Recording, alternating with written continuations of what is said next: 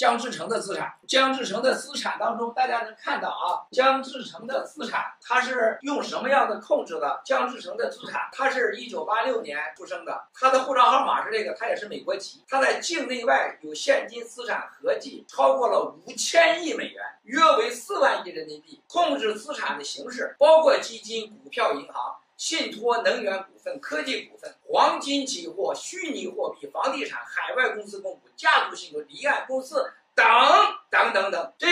以查一查。这个非洲的、南美的叫呃 Standard Bank 叫标准银行，标准银行是中国工商银行控股的百分之七十。那么这个百分之七十的控股当中，它拿没拿回来利润？而且呢，标准银行既然是来自中国七十的这么一个控股公司。他投资了微信，他投资了阿里巴巴，投资了中国几大银行。那么他有什么样的权利能拿到中国人都拿不到的投资资源和渠道？为什么这外国人能拿到？我们纵观过去二三十年，中国的金融上市、市场的整个中国国有企业的改革，十几万亿的全部资产，十几万美金资产，只基本上都在非洲标准银行、高文赛斯、高盛。还有 Blackstone 在这几家银行买来买去，基本上是他们占了百分之七八十。那今天的中国的高科技股和金融股又在他们控制之下，那江志成又是什么关系？江志成的现在女友叫夏玉，代持有了数以千亿美元的资产。他这么年轻，从哪来的？我们接下来往下看。所以说，